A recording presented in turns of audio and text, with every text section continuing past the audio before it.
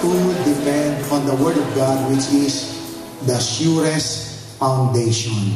Amen? Look at your neighbor and say to your neighbor, the Word of God is the surest foundation. In JIL North America Hemisphere 2, we declare that year 2012 is the year of God's great outpouring. Everybody say, year 2012. Is the year of God's great outpouring.